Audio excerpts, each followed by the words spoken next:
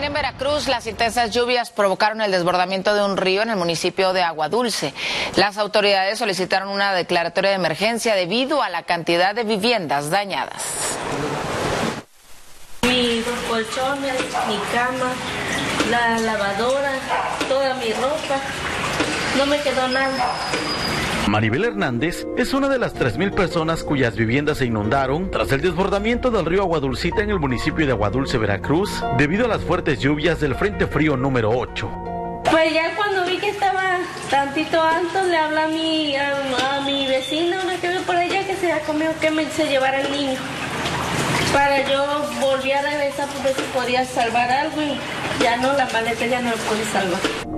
El río es de respuesta rápida y pese a que fue dragado, el exceso de agua por escurrimiento provocó que se desbordara e inundara 22 colonias de la cabecera municipal, así como cinco ejidos, algo que no se había visto en los últimos 20 años.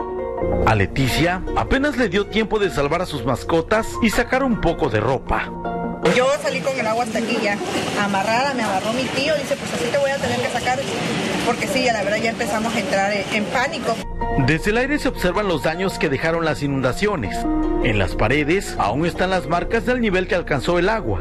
Dentro de los cuartos todo está revuelto y sucio. En colonias como la Cuatro Caminos, los daños se estiman hasta en 100 mil pesos por hogar. Ahí, el agua superó los 3 metros de altura en más de 300 viviendas perdió todo, todo los colchones están mojados. El alcalde Noé Castillo Olvera encabeza las acciones de limpieza con apoyo de la Sedena, la Marina y la Policía Estatal. Además solicitó una declaratoria de emergencia por el gran número de familias afectadas. El agua ya salió de los hogares, pero hay mucho lodo por sacar y basura que tirar. Telediario, Fluvio César Martínez, Veracruz.